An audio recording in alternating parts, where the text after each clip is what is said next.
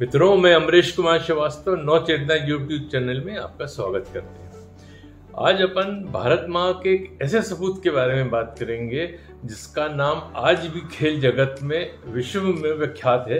उसके इतने रिकॉर्ड हैं कि आज भी कोई उस रिकॉर्ड की बराबरी नहीं कर पाया। जी हाँ अपन मेजर ध्यानचंद जी के लिए बात करेंगे। ये हॉकी के जादूगर कहलाते थे और इन्होंने उस वक्त हॉकी की प्रसिद्धि पाई जब भारत स्वतंत्र नहीं हुआ था और भारत में बहुत बुरी स्थिति थी। फाइनेंशियली ये जो हॉकी का मैच खेलते थे या प्रैक्टिस करते थे तो इनके पास ना तो ड्रेस हुआ करती थी और ना जूते होते थे। ये नंगे पैर खेला करते थे। इनका एक अपने आप में एक इतिहास है। इन्होंने एक हज़ार गोल मारे हैं, जो कि आज भी एक विश्व रिकॉर्ड है। जिसकी बराबरी आज तक कोई कर नहीं पाया है। इन ध्यानचंद जी ने तीन बार ओलंपिक गोल्ड इंडिया को दिलाए और अपन कह सकते हैं कि ये इनका जीवन ही हॉकी में था और इनका आखिरी तक इनका हॉकी में ही रहा। ये जमनजात हॉकी प्लेयर नहीं थे।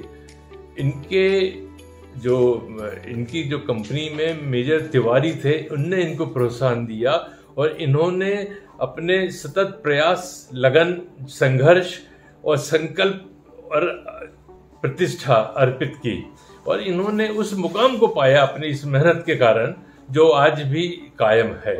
ध्यानचंद जी का जन्म 29 अगस्त 1905 में प्रयागराज में हुआ था और ये एक छत्री परिवार में थे या राजपूत परिवार में से थे इनका जन्म। और इन्होंने 1926 में मिलिट्री ज्वाइन की। तिवारी रेजिमेंट में इन्होंने साधारण से सिपाही के रूप में इन्होंने काम शुरू किया और इन्होंने 1926 में जब इन्होंने नौकरी ज्वाइन, अपने नौकरी में आए तो 1926 से 1948 तक इनके हॉकी का स्वर्ण युग कहा जा सकता है और भारत का भी हॉकी का स्वर्ण युग कहा जा सकता है। 1948 तक ये खेले। उसके बाद इन्होंने रिटायरमेंट ले लिया। 1956 में जब भारत स्वतंत्र हो गया तो इनको पद्म भूषण से विभूषित किया गया और इनकी एक उपलब्धि थी। जब ये 1926 में भर्ती हुए 1927 में इनको लंच नायक बनाया गया। उसकी हॉकी को देखते हुए 1932 में इनको नायक बनाया गया। फिर उन्नीस में ये कप्तान बने एवं सूबेदार बने। 1943 में ये लेफ्टिनेंट बने और 1948 में कप्तान बनने के बाद ये मेजर बनाया गया। आखिरी में जब ये रिटायर हुए तो ये मेजर थे। आप सुन के ताजुब करेंगे कि जब ये हॉकी खेलते थे तो लोग इन पे आरोप लगाते थे कि इनकी हॉकी में जादू है, हॉकी में चुंबक लगा है, इसलिए हॉकी जो जो बॉल है, हॉकी की वो इनकी स्टिक से छूटती नहीं है। हॉलैंड में एक बार यही हल्ला मचा तो उनकी हॉकी तोड़ के दिखी गई कि इसके अंदर ऐसी क्या चीज़ है तो उसके अंदर कुछ भी नहीं निकला। फिर मेजर ध्यानचंद जी ने बोला कि आप मुझे कोई भी हॉकी दे दीजिए, मैं खेल के दिखाऊँगा। वो फिर उसके बाद वो उसी, दूसरी हॉकी जो उनको दी गई, उससे वो खेले। 1926 में इन्होंने पहले अंतर्राष्ट्रीय मैच न्यूजीलैंड से खेला और 21 ज़ीरो से भारत को जीत दिलाई। उस सीरीज़ में कुल 21 मैच खेले गए थे, जिसमें भारत 18 में विजयी हुआ और बहुत लंबी लीड से विजयी हुआ। दो मैच जो थे, वो वर्षा के कारण रद्द हो गए। अपन कह सकते हैं कि इनका जो विजय अभियान था, वो कभी भी रुका नहीं, कभी भी टूटा नहीं। 1932 में भी इसके बाद श्रीलंका से ही खेले और इन्होंने पहला मैच 21 ज़ीरो से जीता, दूसरा मैच 10 ज़ीरो से जीता। माने अपन कह सकते हैं कि खेल के मैदान में ये गोल करने की झड़ी लगा दिया करते थे। 1935 में उसके बाद ये फिर न्यूजीलैंड गए और उन्होंने उनचास मैच खेले और उनचास में से 48 मैच जीते। एक मैच वर्षा के कारण रद्द कर दिया गया। उन्नीस सौ उनचास में इन्होंने फिर हॉकी से संन्यास ले लिया क्योंकि इनकी उम्र हो गई थी, उन्होंने संन्यास ले लिया। 1935 में ब्रेडमैन ने जो क्रिकेट के महान खिलाड़ी माने जाते हैं, क्रिकेट के भगवान कहे जाते हैं, वो इनसे मिलने के लिए आए और वो इनका मैच देखा इन्होंने और वो उससे बहुत ज़्यादा प्रभावित हुए।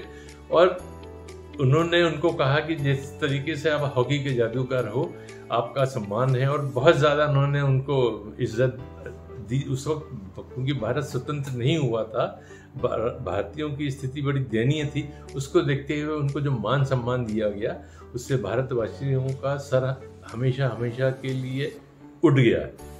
इसी तरीके से जर्मन में एक बार मैच खेलने गए ये, और हिटलर इनका मैच देखने, खासकर इनके मैच देखने के लिए आया, और हिटलर इतना प्रभावित हुआ इनके खेल से कि उसने इनको जर्मन में आगे बसने के लिए और जर्मन में हॉकी खेलने के लिए, जर्मन की तरफ़ से हॉकी खेलने के लिए बहुत ज़्यादा ज़ोर दिया। मगर इन्होंने भारत प्रेम होने के कारण या भारत वासी होने के कारण स्पष्ट मना कर दिया। हिटलर, क्योंकि तानाशाह था, उसने बहुत कोशिश की, मगर ये उसके आगे झुके नहीं और अपने भारत के लिए खेलते रहे। खेल जगत में इनको कई सम्मान दिए गए। 1956 में इनको पद्म भूषण दिया गया। अर्जुन अवार्ड दिया गया, द्रोणाचार्य अवार्ड दिया गया और इनको ओलंपिक मैन ऑफ़ द शताब्दी कहा गया। और इनका जिस दिन जन्मदिन होता है, जन्मदिन जिस दिन था, मैंने 29 अगस्त 1905 में उस दिन भारत, राष्ट्रीय खेल के दिवस में मनाया जाता। है बहुत बड़ा सम्मान है एक व्यक्ति के लिए, जिसके जन्मदिन को राष्ट्रीय खेल के रूप में मनाया जाता है। वियाना में इनकी एक स्टैचू लगी है, जो जिसके चार हाथ हैं और चारों हाथों में हॉकी है। मैंने उसका जो इशारा है, वो इस तरीके से है कि दो हाथ में होके इनके चार हाथ हैं और चारों हाथों से हॉकी खेलते हैं, इसलिए इनको कोई छू नहीं पाता है। इस तरीके से इनके कई कीर्तिमान हैं। इन, आज अपना चेहरा है भारतवासी होने के कारण गर्व से हमेशा इनके नाम से ऊँचा हो जाता है। और मैं कल्पना करता हूँ कि भारत में ऐसे सपूत और पैदा हों और भारत माँ गौरवान्वित होती रहे। धन्यवाद। मित्रों, अगर मेरा ये YouTube चैनल आपको पसंद आया तो कृपया लाइक करें सब्सक्राइब करें ताकि मेरा उत्साह बढ़ सके धन्यवाद।